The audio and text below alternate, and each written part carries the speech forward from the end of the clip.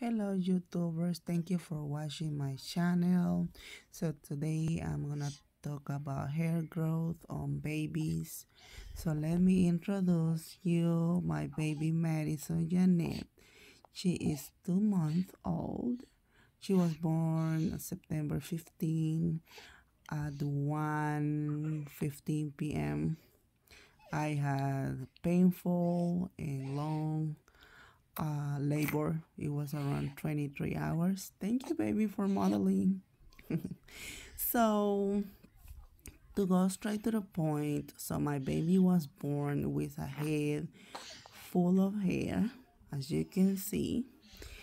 Uh, but it just it had been growing. The challenge now is to um, keep that hair healthy and keep growing. I don't know if the texture is gonna be the same but it's just I mean it's growing. It's growing like I want to.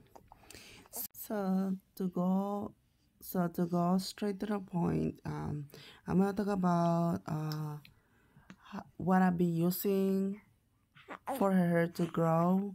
I've been looking at some videos on YouTube and um, some people talk about ole, aloe vera. Some others talk about um, just different kind of oils, coconut oil. Um, I chose to use um, this shampoo and wash from uh, Burt's Bees. It's really good. Um, I like how her hair looks and her skin. Uh, it just be glowing and I love it. And to keep her hair shiny and for everyday use, I be uh, using this um, castor oil. It's really, really good.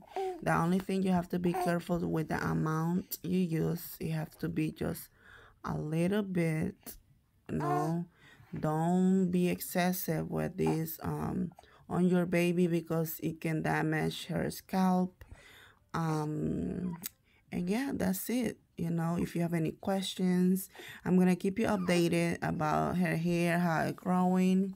Uh so far these products are helping like i said and uh subscribe subscribe and subscribe and talk to you later. Bye bye